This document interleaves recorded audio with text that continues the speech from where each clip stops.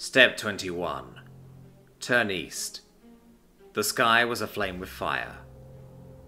Thousands were up there, in a poorly built spaceship, assembled hastily.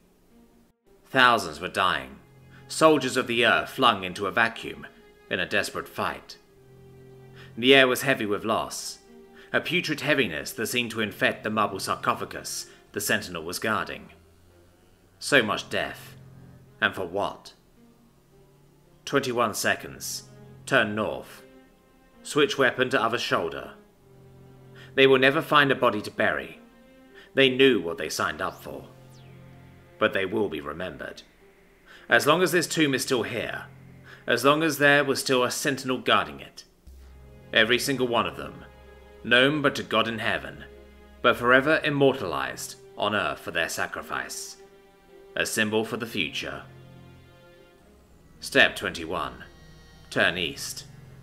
A ring of slag and debris was forming. Kessler syndrome. Detrimental to our ships, also to their ships as well.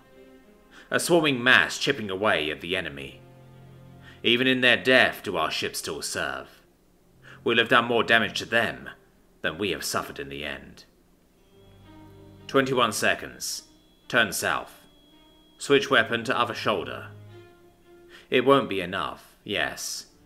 The troops of the enemy will land soon, and the earth will be engulfed in fire. The sentinel clenches their gun tighter. If they aren't here to guard this place, who will? To guard the memories of so many is a duty they can't abandon. And so they stay. M14 on one shoulder, a silver badge adorned on the uniform. The words, Honor Guard, carved into the metal. Repeat. Step 21. Statue of the Sentinel. During the invasion of 2040, a sentinel stood guard here, protecting the tomb of the unknown soldiers. Armed with only an M14 rifle, they managed to defend and preserve this historical monument against overwhelming odds.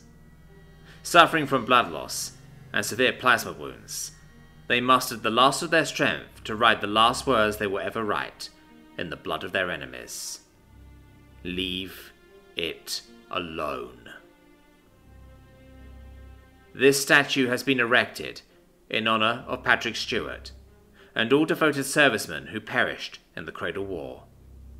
Thank you for your service.